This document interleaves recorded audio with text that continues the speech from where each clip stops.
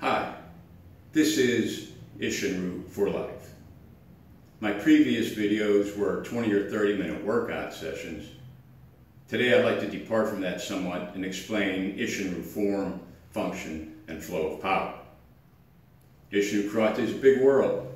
There are many fine instructors and practitioners and a variety of interpretations. My perspective is one of several. Much of what I've learned about Isshinryu Karate came from my sensei, the late Hanshi William H. Duessel. He was taught directly by Soke Tatsuo Shimabuku. He learned the basics of Chart 1 and 2. He was taught the eight empty hand kata, three bow kata, two sai kata, and a variety of kibite techniques. He spent a lifetime devoted to the practice of Isshinryu Karate and became the first person to reach the level of 10th Dan in the Isshinryu World Karate Association, headquartered in Okinawa, Japan, and presided over by O-sensei Kichiro Shimabuku. I was fortunate and I'm grateful to him for having passed on his knowledge and his traditions to me and his other students, and I'd like to pass them forward to you. The first thing I'd like to address is form. Form can be defined as a unique body position designed to accomplish your martial intent, be it avoiding or evading, deflecting, blocking, striking, or kicking. Form is established by our skeletal alignment and it's enabled by our muscle system. Although Isshinryu adopts a natural posture, feet shoulder width, knees slightly bent, and back straight, our form is well defined and specific. It's not far reaching, we don't overextend, our stances are shallow, not too long and not too deep. Isshinryu is made for quick mobility coupled with a firm power base. A Isshinryu form is built along a vertical center line and a horizontal center line. Where these two lines intersect lies our tanden, our center. This is where upper body and lower body unite, and this is the area from which we direct our flow of power. When you wrap your belt around your waist and tie your knot, place the knot just a few inches below your navel. This identifies your tanden center with attention to our posture and awareness of our tanden, we'll always be in a position of balance and stability. Now, Isshinryu employs a variety of stances. Probably the most common is the Seisan stance. One foot is ahead of the other, feet are shoulder width apart. The heel of the front foot and the toe of the rear foot are on the same line. This is a shallow stance. Feet are flat, toes pointed straight ahead, knees are slightly bent, back straight. If you want to get an idea of how far to bend your knees, you can try this little demonstration with a bow. And I have one here.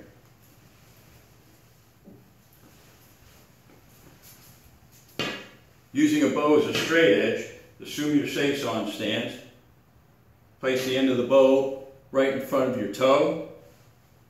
Bend your knee until it touches the bow. I have the bow vertical. It's a slight bend of the knee. Knees over the toes. That's all the farther you need to bend your knee. If you want to check your vertical posture, hold the bow beside you. This is your vertical posture.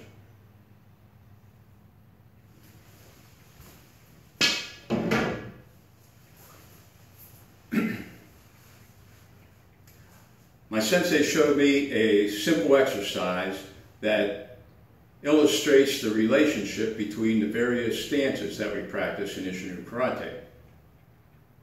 From a Seisan stance, if you want to assume a Seiunchin stance, simply pivot on the heel of your rear foot by turning it 90 degrees, center your weight, and you are in the Seiunchin stance on this angle. Center, This knee stays. Pivot, center, knees are over the toes. Seiyu stance. Seisan.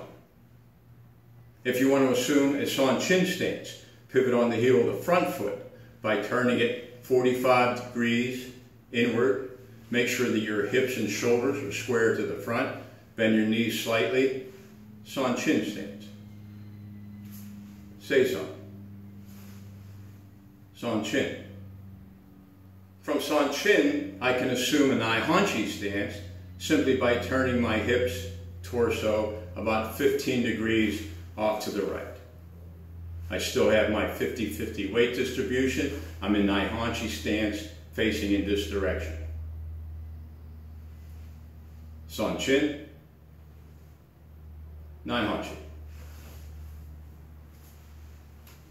Seisan. If I want to assume a side Seisan stance, I simply have to turn my attention in my head about 15 degrees off of the front foot. Side Seisan. This is a shortened version of a Zenkutsu. Seisan, side Seisan. Let me give you a different perspective. If I'm in Seisan stance facing off of this 15 degree angle, toes, hips, shoulders pointing in that direction, and I just shift my attention to the front, I'm inside Seisan stance. Seisan, side Seisan. This is a good defensive posture. It's a good fighting position. My upper body's turned away from the front. My hands are ready for protection.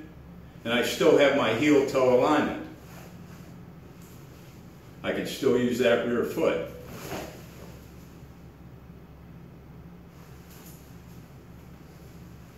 The key point among these stances in this exercise is that the distance between my heels remains the same, shoulder width. Seisan, Seiunchin. San Chin, Naihanchi. Side Seisan. This kind of illustrates the natural positioning of Isshin-ryu Karate.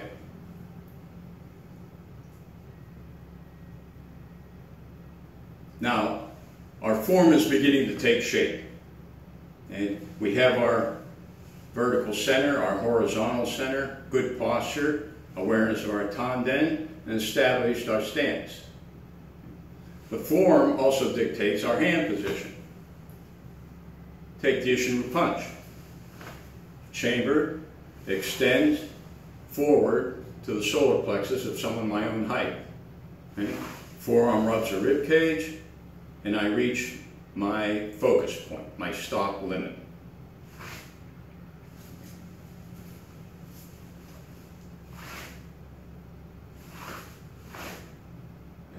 Don't lock my elbow out where it can be attacked and manipulated, and I don't disjoint my shoulder trying to extend too far or can be pulled off balance.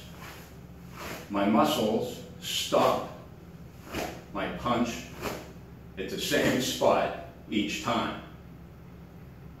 Now I use a vertical fist. Isshin-ryu uh, is uh, known for the vertical fist punch, although other karate styles use it. The unique thing about Isshin-ryu is that it caps the thumb on the top okay, and pulls it back. This accentuates this tendon in the wrist here behind the thumb to strengthen and reinforce the wrist. The vertical fist also establishes a natural alignment of the bicep and the tricep. Okay? So they extend and contract on a natural line. My elbow is pointed to the ground. I'm striking with the top two knuckles and I reach my stop limit, my form.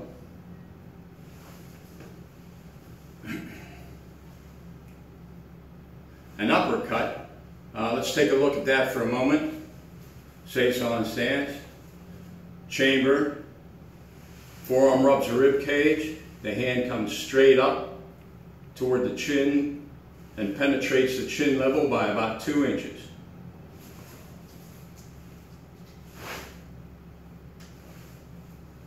I reach my stop limit, my focus point. This is a straight line attack. It doesn't loop back, and I don't overextend. I focus. My limit. My muscles stop this technique from continuing on to infinity.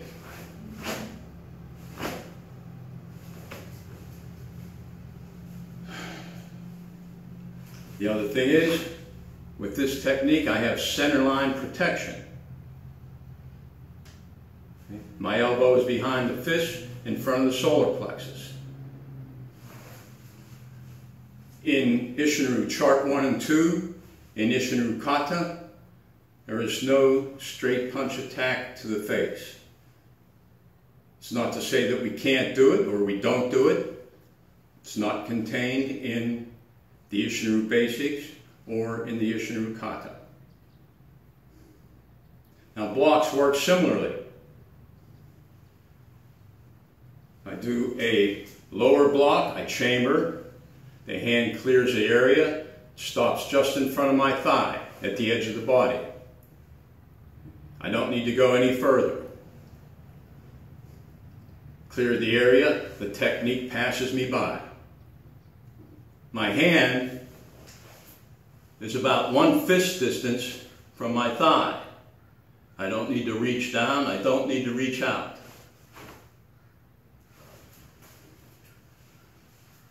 Middle side block, chamber, hand clears the area, I stop right at the edge of my body, a technique will pass me by. Okay. My elbow is about a fist distance from my rib cage, my hand even with the top of my shoulder. This is my form, this is my stop limit, my focus point. Sweep block, chamber, the hand comes up, arcing, knuckle the thumbs right between the eyes and just above the eyes, the edge of the hand to flex the technique over my head. My stop limit, my focus point. My hand is about a fist distance from my head and just above so the technique goes over my head. This is too high, this is too far out. You have to be specific. I'll have specific points that I want to reach. Okay? This helps develop containment. The idea that there's a stop limit on my strikes, a stop limit on my blocks, even with my kicks. Isshinryu kicks generally start from a protected chambered position, knee high, foot beside the supporting knee, Okay, and I extend, extend, extend, and extend. I have an effective range. I have a stop limit with my techniques. This is all establishing the form of Isshinryu Karate. I'm establishing my presence. I have containment. Now, let's take a look in a moment how the form contributes to the function of Isshinryu Karate. I have my vertical horizontal center and I have my good posture. Now I can begin to uh, examine concepts of offense and defense, identify weapons and targets, establish focus points, one of the first things that we want to do is avoid an attack. And I can do that simply by stepping back. It's a short step. Remove myself from the attack. I can do that by shifting my weight, stepping off on an angle. And so I avoid an attack, I can block an attack. Step back, block. Shift my weight, block. Step on an angle, block. Uh, if an attack continues, I can counter strike. Step back, block, strike. Shift my weight, block, strike. Step off, block, strike. All these movements are enabled by my form, my good posture, my balance, my stability, the stop limits of my block and my strike. They help uh, establish efficiency, economy of force, flow of power. Now, there is a mechanical sequence to in, initiate, to institute, that will help direct my flow of power. So, from a Seishan stance, once I have the intent of what I want to do, I want to activate this mechanical sequence. And I can do that beginning at the ground level with my feet. I want to energize my feet. My sensei says it's like plugging in to the earth. Okay? And I energize my body when I plug my feet into the earth. Okay? Now the next thing that I want to do is I want to lift my pelvis. I plug in lift my pelvis. Okay? What this begins to do is lock in my lower body at my tanden area. At the same time, it begins to tighten my abdomen, okay? and I couple that with my exhalation. Feet, pelvis, breath.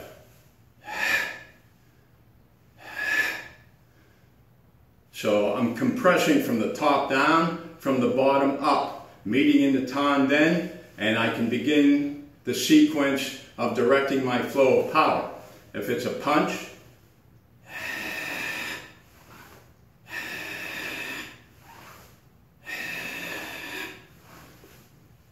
Now, the reason I add the punch last, the technique last, because this hand moves very fast. And I don't want to get the cart before the horse.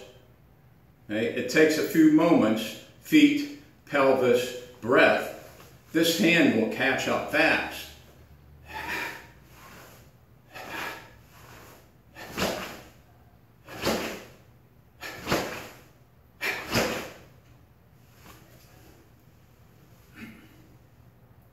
So I have established my form, my posture, my stance, my stop limits or focus points of my blocks, my strikes, my kicks.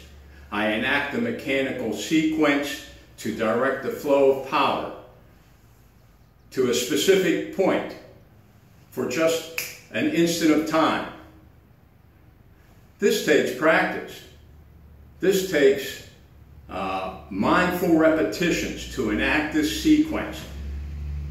You don't need to go too fast, but you want the muscles to support the technique. I have feet, legs, pelvis, torso, back, chest, lats, trapezius. All this supports my technique because of our shallow stance, because of our short techniques, we want to be able to incorporate all of our 600 muscles to support our technique. You have to be specific. Now, a sensei gave us a formula. Form plus speed equals power. Now you got to think about that for a minute. Form plus speed equals power.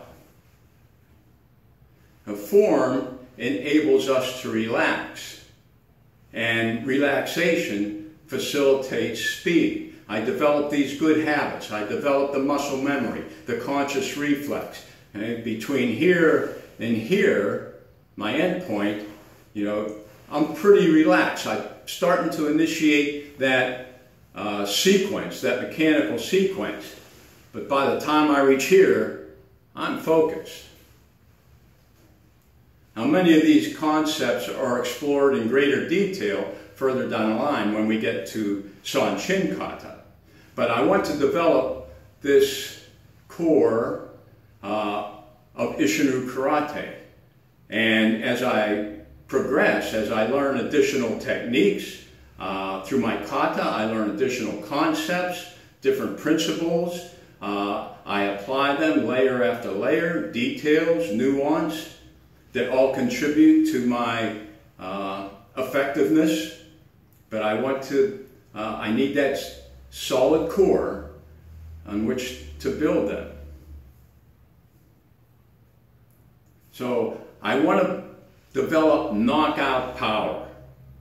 Okay? This is uh, this initiates the road to accomplishing that that uh, ability. Okay? This form demands precision. The precision demands discipline and concentration. We have to be specific. Our reward is efficiency, economy of force, effective technique, and effective flow of power. I can use the unifying properties of my body, my mind, and my spirit to execute my Isshin-ryu Karate. Whether I'm doing it for self-defense, for my health, or to embrace the art as a way uh, to help guide me through life. The form is the structure that enables all these uh, things to happen successfully. I think this is uh, a basic definition of Isshin-ryu Karate. So I would encourage you to do the repetitions, the mindful repetitions. Okay? Don't put the cart before the horse. Develop the form, centers, tanden, stance, okay? the mechanical sequence, and the flow of power. This is something that we continue to work on through our entire karate journey. We can build, we can grow, we can improve, and we can enjoy our practice. So thanks for tuning in. I'll be back with another video soon. Uh, hope you'll check that out. In the meantime, work, practice, enjoy. Thank you.